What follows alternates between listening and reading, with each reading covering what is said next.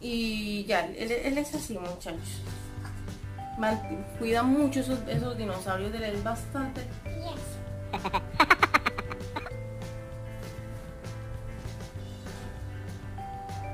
¿Ya? Ahí se las quitó. El que dirá, ¿y para qué voy a ponerme babuches para subirme a la cama, mami? No es ordinario, ¿sí? No es ordinario. Bueno, contarles cuando se paren las pongo, porque si no, esa plática se perdió. Y de verdad que los veo como que presiento, siento que la plática se perdió. Lo vi caminando en los talones. No sé esas botas porque tienen esas... ¿Por qué me pasa eso con, con, me pasa eso con las botas que compro ese estilo, con los niños, no sé.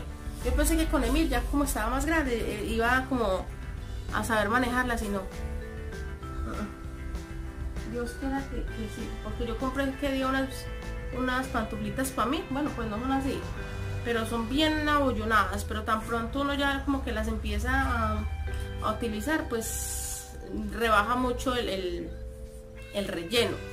Entonces, ojalá, ojalá pase así con esto porque 40 y pico liras no están detrás de la puerta, ¿sí o qué muchacho? O si no, toca que volverle a comprar de los mismos que le he comprado siempre. Que de verdad que, es, que para que son muy finos, va, finísimos. Y ya muchachos, eso es todo. Dicen, ¿por qué pone, por qué tira la ropa a la alfombra? La alfombra pues esa fue la que apenas se acabó de secar, o sea, la alfombra está limpita muchachos. Allá donde acuesta mira a mí sí que me tengo que lavarla más seguido por lo mismo que va a ser puesta allá. En, eh, ay vuelvo con estas. Estas vienen de todos los estilitos de todas las princesas. Ha tenido de, de- ah no que día le compré unas de Mickey ay me encantaron esas de Mickey porque o sea tenía el estampado así como si fuera el vestidito de él aquí ay tan lindas y Emil también tuvo de, de Spider-Man de Spider-Man de Spider-Man y de todos sus superhéroes también de Spider-Man. y son muy buenas. Son buenas. Eh, yo de mi país trae, le traje que di- cuando es que qué día digo yo. Cuando yo traje el niño, yo a una amiga de Denver le traía como regalo unas pantuflas, pero es así la suela, la suela era como de zapatos, mejor dicho, como la suela de los zapatos de, de Luciana, solo que esto acá sí era la media así, o sea, más finos esos. Quién sabe al fin cómo les le habrá ido a ella con, con esas, con esas pantuflitas, nunca le pregunté. Nunca le pregunté a ver cómo, cómo, cómo le habrá ido. Y ya parceros, pues, eso fue todo, pues ojalá el niño sepa tomar eso. El ambientador me huele muy rico, muchachos, hasta aquí viene el aroma. No, no. Me fascina, me fascina, muchachos. Tenemos que ir mañana a comprar los pañitos de los niños que ya se acabaron. Estamos en poder de este pedazo poquito. Y eso sí es indispensable, muchachos. Ay, el, contesta que ya. Ay, ay, ay, ay. Mira, les muestro por acá cómo está la, cómo está el panorama. Eh, Colchón de la niña. Yo soy muy mala para limpiar las cosas así con agua y jabón. Yo me gusta echarles agua tirada. Así me demoré varios, se demore varios días para secarse las cosas, pero yo para pa limpiar. mm, mm. Está la ropita, está la está la. Extendí hace como tres horas. Está muy húmeda todavía, eso no se seca. Ahora aquí está. Tengo otra ropa para extender. ¿O no? Ah, tengo para No, se está lavando ahorita en ese momento. El, las sábanas de, de la cama de Mir. Ay, ¿qué más que que yo metí con eso, ven? No recuerdo. El caso es que no hay ni una estrellita. Pero tampoco ha dicho que vaya a llover por la noche. En el día que sí iba a llover y no llovió. Hay que mirar a ver. De todas maneras, pues esta semana, desde que desde que trueno, no se da cuenta si llueve de resto. La night. Allá está nuestro convertible, muchachos. Allá está nuestro nuestro firulais, nuestro muratico. Allá está. El petacón ese como, como, como nos ha transportado para ahí para acá. Ya muchachos, eh, eh, mire cómo está de verdecito ya está esto acá. Ah, yo no le había mostrado, mira, está súper verdecito. Estas bombillas tan pronto, mira que bárbaro, cuando las instalaron, no duraron 15 días muchachos. se fundió rápido esta. esta. Esta, se fundió rapidísimo. Y apenas hasta esta semana. Dice quién es. Apenas hasta esta semana la volvieron a arreglar. Muchachos, ¿cómo le parece que pasó algo tan raro con el hermano de Emre? Ahora que veo una moto de él, tiene una moto. Y, y no sé, me pasó algo muy raro porque la semana pasada Emre... O sea, el horario de trabajo Emre está, lo tienen distorsionado, no sé qué está pasando ahí. El caso es que ese día le tocó hambre por la tarde y, y se fue, se despidió y no sé, las cosas que yo estaba ocupada cuando yo no sé como que me dio como un pálpito como no sé y me asomé por la aquí cuando veo que él estaba bregando ahí, ahí justo donde está ese camión pero pues acá en el andén acá más para porque él tenía parqueado el carro ahí briegue y briegue con el carro tenía la puerta abierta pues imagínense ahí, ahí al pie del semáforo y todo eso y entonces estaba yo parada en la ventana mirándolo mirando en re porque lo vi que él venía como así, se subió al carro como que hablando por teléfono con alguien. Y yo, le tan raro que hombre no se ha ido, pensé yo entre mí. Y era yo mirándolo y nada que se iba, yo, hijo madre, se le varó el carro. Porque era bregándole, ya luego era bregándole y no, no le prendía.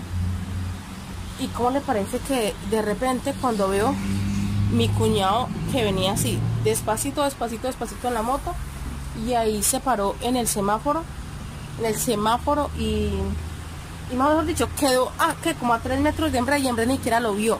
Y ese señor era mirando hombre, era mirando hombre y ni siquiera se le arrimó. Y tan pronto, mejor dicho, casi ni esperó a que cambiara el, semáforo y arrancó de para allá rapidísimo, muchachos. Entonces, eh, el, mi cuñado, o sea, el que se pasó con el niño ese.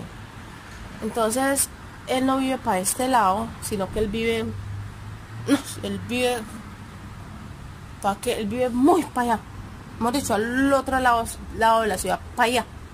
Y entonces, y entonces cuando yo vi el señor que apareció acá arriba, yo pensaba, seguro fue que hombre lo llamó, seguro fue que hombre lo llamó para que le ayudara. Y mentiras que el señor siguió de largo y lo miraba y lo miraba y como que no veía las horas de que cambiara el semáforo y tan pronto, tan pronto cambió ranco rapidísimo y ni siquiera le habló y ni siquiera nada. Entonces le digo yo, hombre, le dijo, y fulanito, ¿qué, qué pasó? ¿Por, fue que, fue que, fue que me ve que yo estaba en la parada, eh, parada en la ventana y por eso no, no, no se le arrimó. Y me dice, no, le dije, yo usted no lo llama, me dice, no. Me dice, ve, y ese porque no se me arrimó, ayúdame. El caso es que ese ese señor, no sé, me bueno, uno, cada cual es libre de andar por las calles de, de, la ciudad donde es, o sea, como se le pegue la gana. Pero entonces yo digo, la casa del queda muy, o sea, queda quedas hacia allá al otro lado, o sea, y venía de acá de este lado. Entonces eh, le digo yo, hombre, y, y él tiene, y él por qué vendría como por ese lado.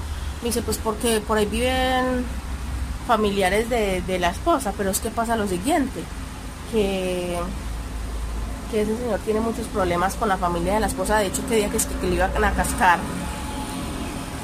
porque él mantiene que va y vuelve, se separa mucho de la esposa y bueno, y, pues la esposa va y y le pone la queja a sus hermanos y entonces hasta le iban a cascar a él. Entonces yo digo, si anda peleado con los familiares de la esposa, que vendría haciendo? bueno, mejor dicho, el caso es que eso me confundió bastante. El hecho de que el señor pasara por acá, ni siquiera se le, ni siquiera se le arrimó a mi hambre.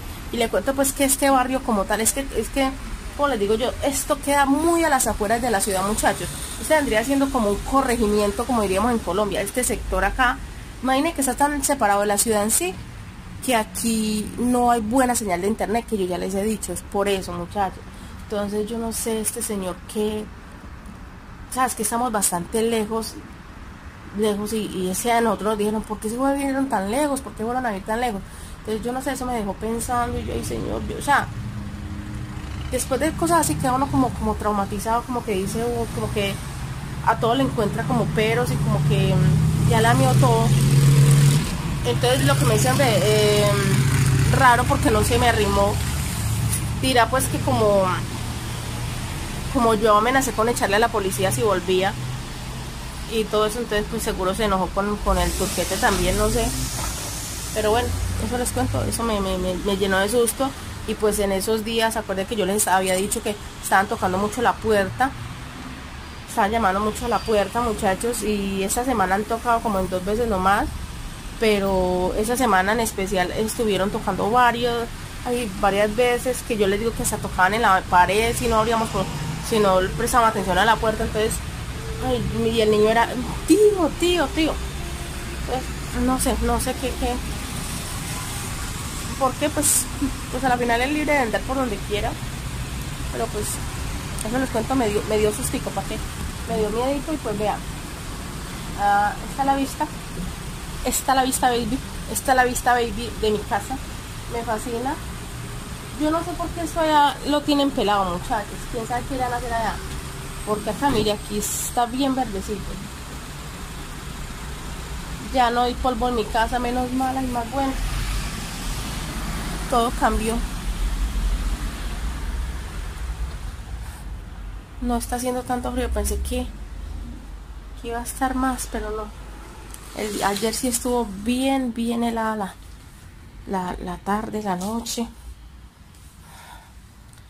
Me voy a ir a, a, esa, a lograr que Luciana está dormida. Y doblo la ropa. Pues remangue si usted ayúdame también, parcero, mientras me... Sí, oye. Está usted por ayudarme. Ay, tiene frío. Ay, pero usted... Ay, mire que tiene frío. Ay, su... Ay, Dios mío.